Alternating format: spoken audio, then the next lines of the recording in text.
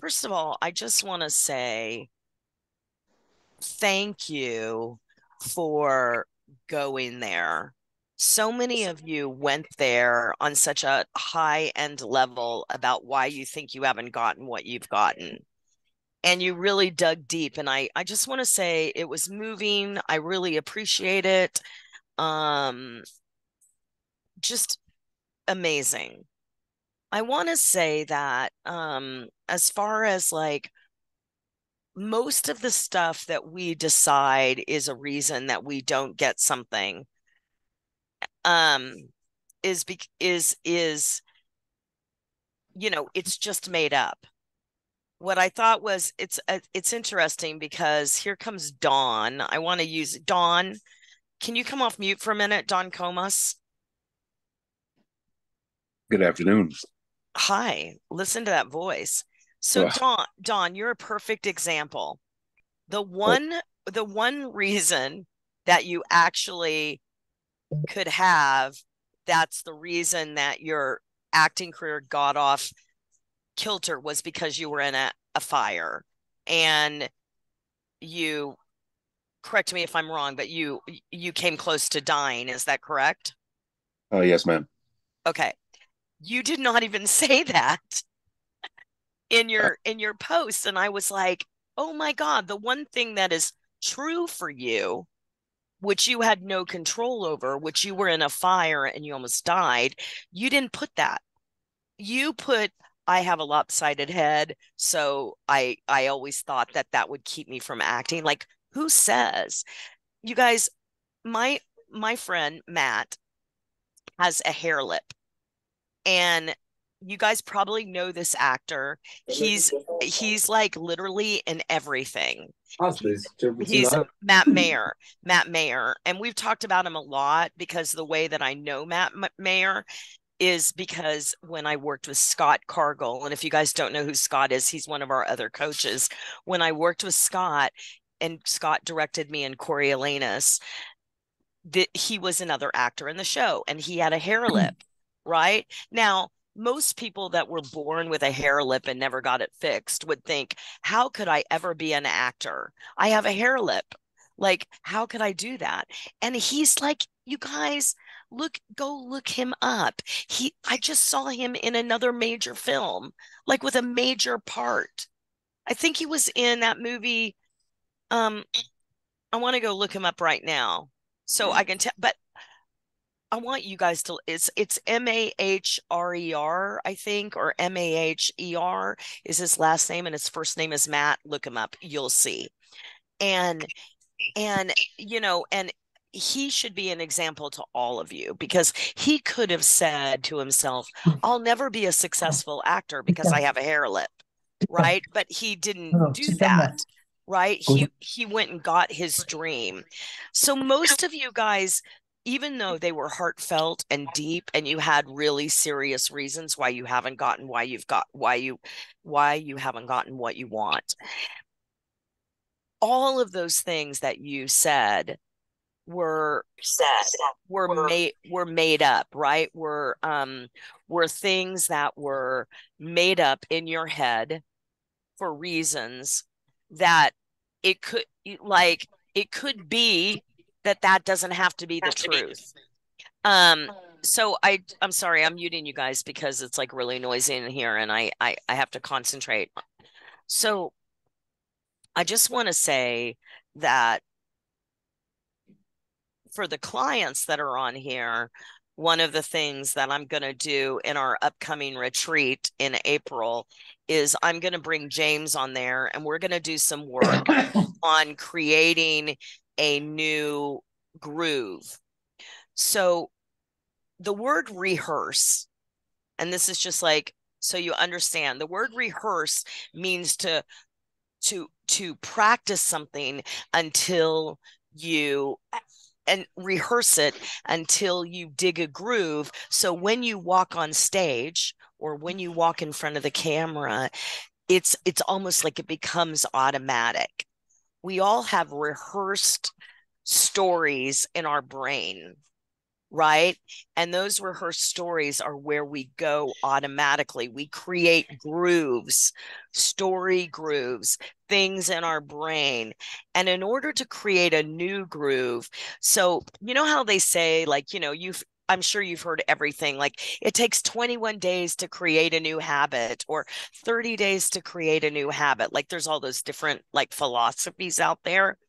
But the reason it takes time is because you have to think about, like, I remember when I quit smoking and I had to, like, literally every time I wanted to pick up a cigarette, I had to think, like, why I don't want to pick up a cigarette, why I don't want to pick up a cigarette until I rehearsed it enough that I didn't want to pick up a cigarette anymore. So, um,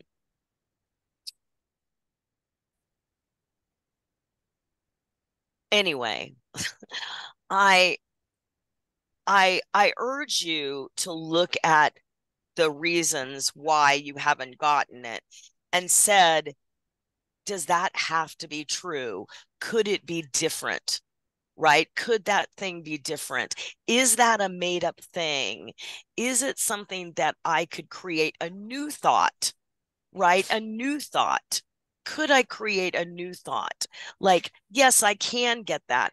I, I I read something recently where they said every every human should study improv because you know the number one rule to improv is yes and right it's always yes and so what if we lived our lives like that what if we lived our lives like my bank account's empty it's negative yes and I have room on my credit cards to go do what I need to do today. Or right, like what if we we came from a yes and perspective in our lives? Um, I have a lopsided head. Yes, and that might be the thing that's really cool about me. Right? That might be the thing that's really cool about me. Um so anyway, I just y'all mute yourself please because I can't hear. Okay. So anyway, I'm going to leave that alone for right now, but I just wanted to say that you guys really inspired me, motivated me, and also I'm going to bring James to the retreat um, because he's really good at helping you create new grooves, right? And like as we heard from Carolyn Center yesterday, who met with James, she said, you know, he really helped her to think in a new way and look at different things. And he's really good at that. So I'm going to bring him to the retreat. Um, anyway, that's coming. Okay. So your homework for today is this. I want you to now tell me what your dream role looks like. Like when you imagine yourself in a movie, what is that role? What is that specific role that you see yourself playing? Next week, we're going to get into like brand and defining your brand and defining your customers and define making a plan. But in order to do that, I need to know what is your dream role? Like, what is the role that you're like, oh man, I could play this role? And I would love for you to write that down for me. Tell me what that dream role is. Um, I I always had a dream role of playing a role like um being Leonardo DiCaprio's mom and being like sort of like uh Nine Mile, like Kim Basinger in, in Nine Mile, like being like kind of like a poor kind of you know mother that lived in a trailer that was just trying to get by and really bitter and struggled with drug addiction. And you know that was a role that for me was like a dream role a, a role that i want, wanted to be. Or maybe it's a role in a play. Like a dream role for me would be maggie you know maggie um, or um, you know, um, you know, Lady, I'm not in a theater, but Lady Macbeth would be a dream role for me. That would be a dream role that I would love to play. Someone that's like severely in angst would be a dream role for me. So I would love for, to know what your dream role is because the name of this challenge is to book your dream role. So tell me about what your dream role is. um, and explain it for me. Okay. That's the homework for today. Um, all right. So I'm I am going to come down exactly at a half an hour because I have to go catch a train. That's why I'm at the Starbucks, not by the train station. Um, okay, Caro, great question. Caro asked, does it have to be only one role? No. If you have more than one, write them down. Like, oh, I would like to play, you know, um, Maggie and Cat on the Hot Tin Roof. I'd like to play, you know, whoever. So if if you have more than one role, absolutely. Like tell me what that is. Yes, Chris. Hello, Valorie. Hello. Yes, um, I want to ask you, I've got two questions. Thank you very much. You know, one question is um regarding Sony Pictures Television. Um, in the 30 second video, could I mention that to Amanda that I met her in person at lovely, dynamic Valorie's Game Changer in LA in 2019 when I came especially from London?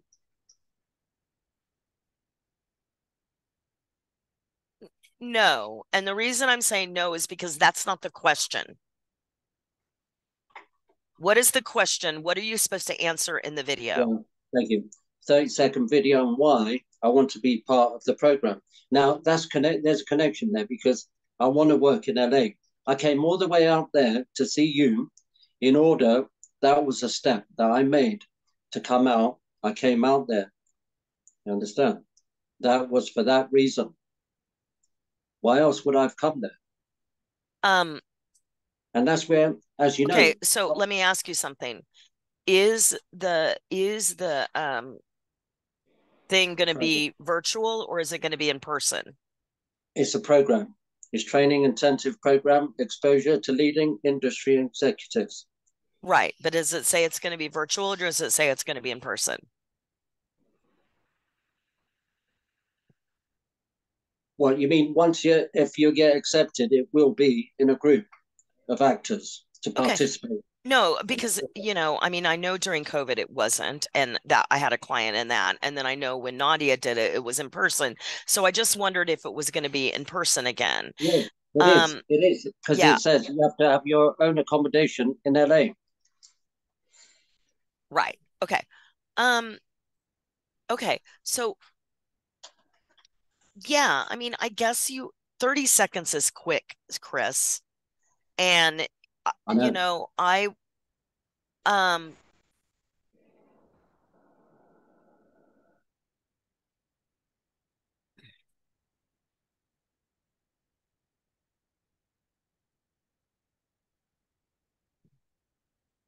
I mean, I, I'm thinking that's why I'm thinking. You know, first of all, you know, Chris, most likely I don't know what you have that's diverse necessarily in in the sense of, you know, are you really right for this showcase? I don't I I don't I've I've I I doubt it to be honest with you um because you know first of all you from another country and second of all um you know you're a guy yeah, you might be of Greek origin, but you're a guy, a white guy, basically, right? And so I don't know that they're going to really um, consider someone, especially if they're not American.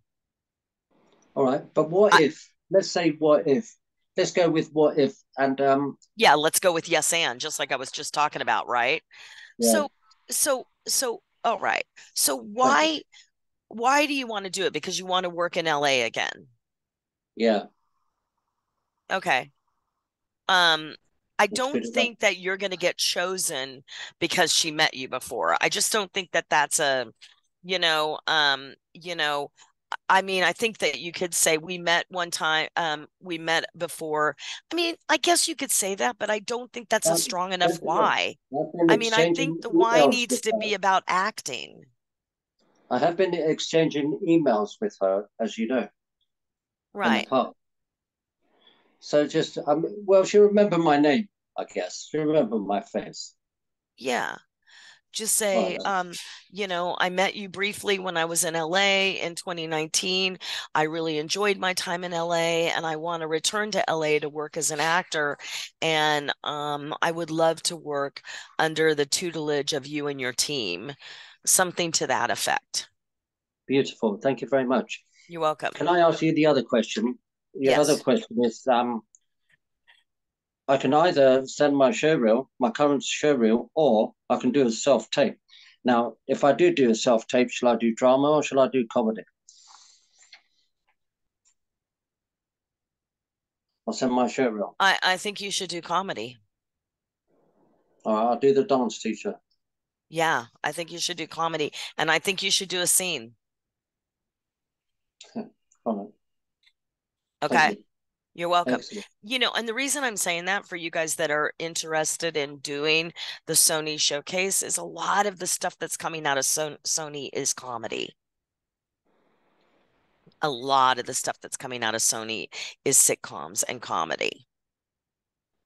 Now, I have sit in for you guys that are like, well, you know, I'm a white girl or I'm this or I'm that. Like I don't feel like I fit into to the diversity showcase.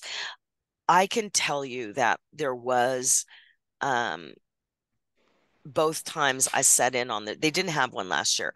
Both times I set in on the showcase there was a white girl in within the showcase because a woman a woman is considered diversity. So um I know so I'm looking at you Aaron. Yes, you can submit for that. Right? And Violetta you can submit, right? Like I think that you guys can submit on that. Um yeah. Okay, thank you. Anyone else have a question? Yes, Mike. So my question is a little different. I um, when Scott was here the other day with us and we were talking, he said, "Why don't you reach out to Aqua?" So I reached out to Aqua because I was talking to him about um, spokesperson work. So they just got back to me saying, "Hey, are you interested in meeting with or available meeting with us on the seventh of March?" Um, so just got the message, didn't reply yet. Knew we were going to have our our call. Um, so I don't know if they want to meet in person. I'm assuming they want to meet in person, not over the web. Um, so before I reply, it looks like you're frozen, but I mean in per yeah. I mean, yeah. I think that I think that you should say, "Hey, I'm currently in Philadelphia. Can we meet on Zoom?" Okay, all right. I'll give it a try and see what they have to say. Okay. Simple. Yeah. I mean, I'm so glad they got back to you quickly because, you know, listen, the thing about Courtney that she's the owner. Mm-hmm. The thing about that company is that initially they weren't looking at anyone that wasn't outside of of of LA but recently they have been looking at people that are outside of LA because I think that they understand now that you don't have to be in LA anymore.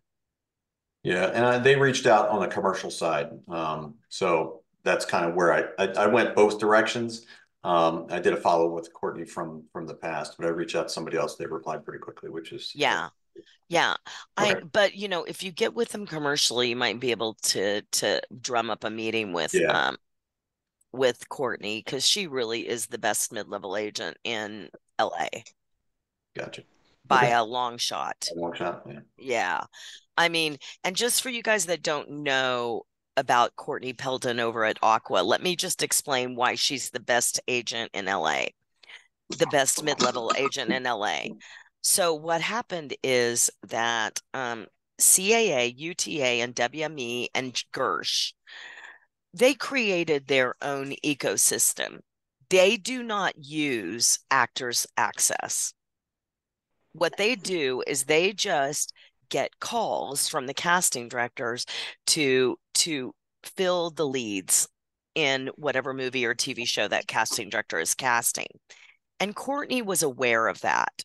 So what she did was she went out and personally built a relationship with all the casting directors. So this is what has happened. And this is firsthand from a casting director's mouth the casting director will go out to WME, UTA, um, CAA, and Gersh, and they will get the leads placed in their movie. And then what they're doing is they're calling Courtney to get the rest of the parts. That's happening a lot.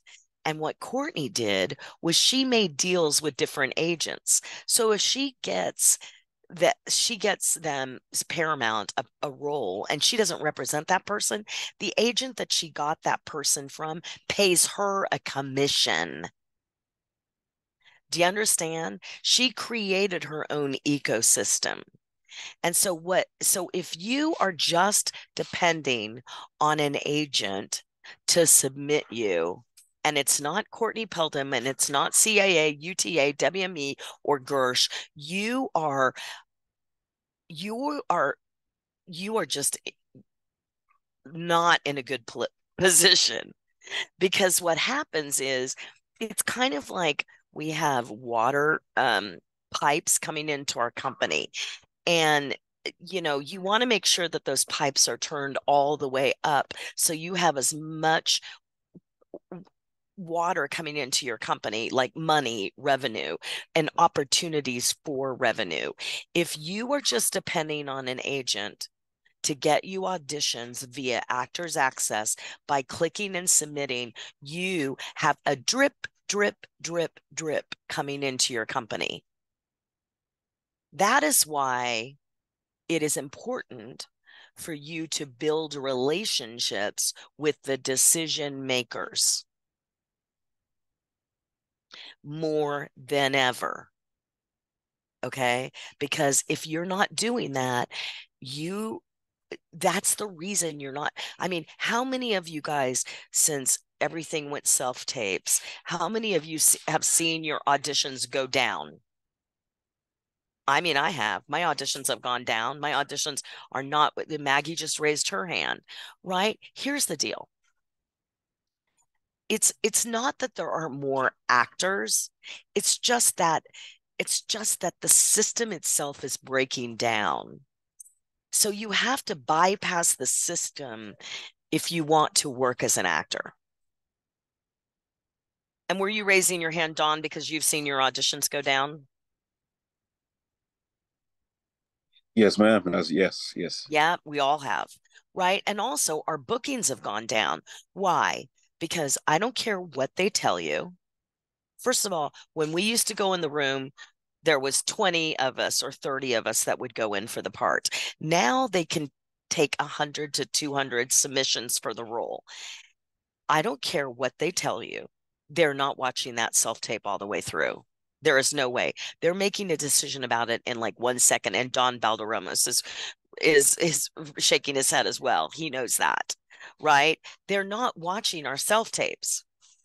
This is a problem. This is why we have to go around them to the decision makers. Yes, Derek. Two two things. Courtney Peldon, is this the lady from Aqua Talent I've just found on LinkedIn? Yes, Courtney Peldon. Right, I've sent an invitation to hook up with her.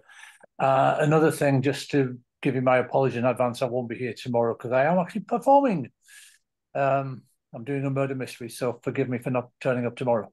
Well, good. I'm glad you're performing, and I wish I could be there. I wish you could be there too. You could see what goes on in England with uh, murder mysteries. They're fun. I know. Okay, thank you. We'll miss you tomorrow. And I'll see you on Monday. Cause, okay, uh, I'll be. Oh, or come on Saturday if you're available. Uh, I'm not available on Saturday. okay. All right. Don't forget, everyone, that we're doing at 1 p.m. on Saturday. Um, Thanks, Derek. Miss Spooner, come on down. Hello. Hi. Can you hear me? Hi. Yes. Oh, great. Thank you. Um, I just want to say, Valorie, I'm really enjoying these uh, conversations that we're having. Um, they've been really useful. Um, I had a question about the Sony Diversity Showcase. Now, I had a look last night to see if I could find it any more information about it online, and I kept on getting kept on getting sent to a previous version of the showcase. So I wondered if anyone has the link um, so that I can just have a look. It may not be relevant to me because I'm based in the UK, as you can probably tell from my accent. Yeah, yeah, um, yeah. But be nice to see it. Um, yeah, I don't know if someone has the link to it and they can do it. Um, uh, I will. Um, I I will I can get that for you, but not right now. But I'll Okay. I'll try to to get that for you and see if I can. And I'm going into the city right now to speak, so um, if I can find it, I'll send it to my assistant and have her put it in the email. But if anyone has it or can get it and you can put it in the chat, that would be very helpful. Um, Thank you. Chris, do you have it? Yeah, so I got it somewhere. I'll have to look, find it. Okay, if you find it, you. can you please All put right. it on there? Sure. Yeah. Yeah, and uh, you know what? I will really try to find it when I'm on the train and uh because I just saw I just saw Amanda um make another post about it on the Facebook group when I was looking at your um when I was in there looking at your comments on my phone. I found Amanda made a post about it. So um and by the way, um, and we keep talking about Amanda. Amanda Richards is um is the person that organized. She's like the second in command of casting of Sony. And she's a friend of mine, and a lot of my clients have met her because she serves on panels for me and she's done things for me. She used to work at my agency back in the day. That's how I know her.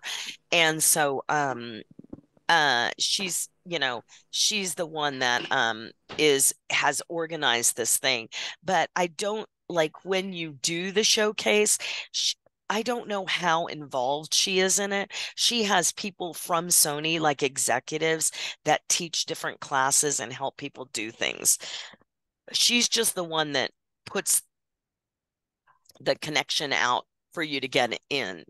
The um, but my my the two girls that we've had, the two girls that we've had in it, um, in the last, she started it in 2019 yeah, because Nadia did it before COVID.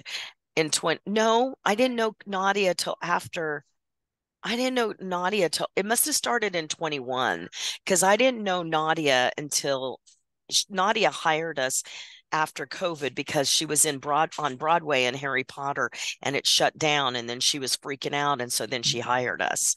And so so I didn't meet Nadia till after that. And so Nadia must have done it in 21.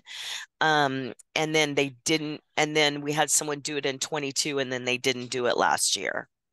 So someone here has someone, one of my clients has to get in it because um because I need to have a where it's like I have a client in it every every year. That would be awesome. So one of you guys needs to book it. Okay. I'm just telling you, go book it. Um, okay, listen, you guys, I have to run and get on a train.